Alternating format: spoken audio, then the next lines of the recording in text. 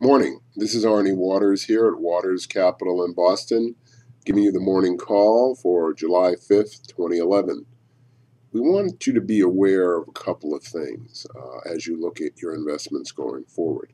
Many people assume, indeed, some people call this a bedrock assumption, that the Chinese economy is going to grow and grow and grow and grow into the mightiest force of economic might in the history of the known world. In fact, as we pointed out to you about eight or nine days ago, uh, until about eight or nine days ago, China had been the largest market for luxury vehicles in the world. By that I mean luxury vehicles, BMWs, Mercedes, Lamborghini, all that kind of thing. About seven or eight days ago, a report came that uh, that luxury car buying had come to a halt. Now, what that means is and this means the same thing all around the world, and I'm a car guy. When car guys stop buying cars, stuff is going wrong. Now, I'm not going to recapitulate the whole ghost city, made up, fake economy stuff that I've gone over many times. Um, but I do want you to think about this. On Friday, it was announced that manufacturing activity in China had come to its lowest level in two and a half years.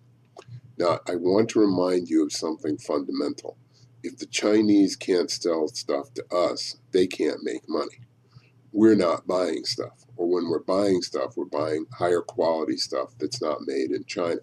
So I wish to point out to you that uh, if these reports are true, and given the level of lying the Chinese government usually employs about its economy, you can bet things are worse off than the reports indicate. You know, we could be in for a protracted period of difficulty uh, in the Chinese markets, which will spill over to things like commodities. So while gold is trading above 1500 and we keep our gold view intact, we want you to be really thinking, I want you to be really thinking about your other commodity positions in things like iron and copper, silver, things like that. Uh, those kinds of things could have a dramatic downdraft with very little warning, or the warning having already been received through economic reports. So we want you to also keep in mind that as we look into the election season, uh, we expect, and we've already seen uh, some wording coming out of Washington that starts talking about revenue enhancers and things uh, rather than tax increases. I think that there's definitely going to be a deal worked out between the Republicans and the Democrats, with the Tea Party people being left on the side fulminating. Frankly, can't think of a better place for them to be. Uh, I also think that their strategists are getting kind of nervous because it could be that, like most uh, rabid fringe elements, the uh, uh, Tea Party runs the risk of being like, as it were, the Nova and flashing onto the screen and flashing off.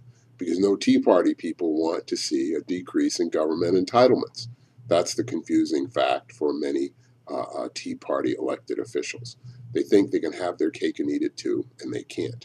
This is Arnie Waters. Aim for the ice floes. Have a great week if you're on holiday. Keep swinging. Thanks.